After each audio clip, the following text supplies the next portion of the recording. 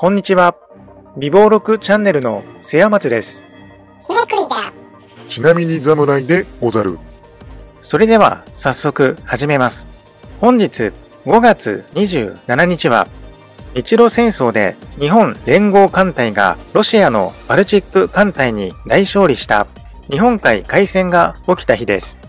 うむ、東京原宿にある東郷神社のご祭神、東郷平八郎が指揮した戦いじゃの。はい。司馬遼太郎原作、坂の上の雲のクライマックスを飾り、日露戦争で日本の勝利を決定づけた戦いです。では、今回紹介するキーワードはこちら。まずは最初のキーワード、日露戦争です。日本海海戦は明治38年5月27日に起きました。この戦いで日本がロシアに大勝利したことで、日露戦争は日本に有利な条件で終戦を迎えます。日露戦争が起きた背景には、幕末以来、冬でも海面が凍らない港、不登校を求めて南下政策を進めるロシアに対し、いつか侵略されるかもしれないと日本人が危機感を抱いたことが挙げられます。元君伊藤博文は互いの利害を調整し戦争を回避すべきとロシアとの交渉に臨むも決裂。覚悟を決めた桂太郎首相はイギリスとの日英同盟を後ろ盾にロシアとの開戦を決定し日露両国が宣戦布告するに至りました。ちなみに、日露戦争の10年前に起きた日清戦争で勝利して得た領土をロシア、ドイツ、フランスによる三国干渉で強引に奪い取られて以来、日本人は打心昇胆を合言葉に屈辱に耐え、国力の増進、軍事の増強に努めていたのでござる。ふむ、日本人のロシアに対するもやもやした悪感情は、もう限界にまで達していたわけじゃの。では、続いてのキーワード、東郷平八郎です。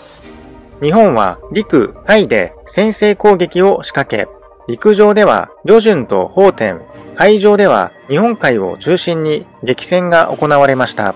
法天海戦では日露両軍合わせて約60万人もの兵士が対峙。日本軍は勝利したものの7万人にも及ぶ死傷者を出し、これ以上の戦争継続が困難となる中、明治38年5月27日、東郷平八郎率いる連合艦隊は遠くバルト海から地球をほぼ一周して開港してくるロシア海軍の主力バルチック艦隊を日本海海戦で壊滅させ圧倒的な勝利を収めます。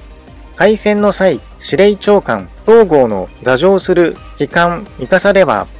広告の後輩、この一戦にあり、各員一層軍令努力せよ、と東郷が兵を鼓舞すると同時に、アルファベットの最後を飾る Z を示す Z 機が掲げられ、決死の覚悟で戦いに臨んでいます。この戦いの勝利で、東郷の名は世界的に有名になり、同じくロシアの横暴に苦しむ国々では、子供に東郷と名付けたり、東郷ビール、東郷通りなどができたと言います。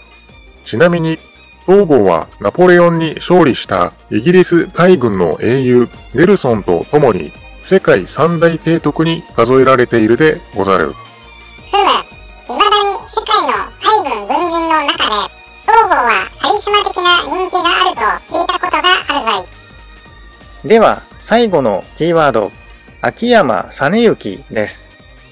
日本海海戦では、ロシアのバルチック艦隊がほぼ全滅したのに対し、日本側はほぼ無傷の圧勝に終わりました。その勝利の立役者の一人が連合艦隊の作戦参謀秋山実之で、敵前方で大きく進路を変え集中砲火を浴びせた作戦は、平時作戦や統合ターンなどと呼ばれ、世界的に有名になりました。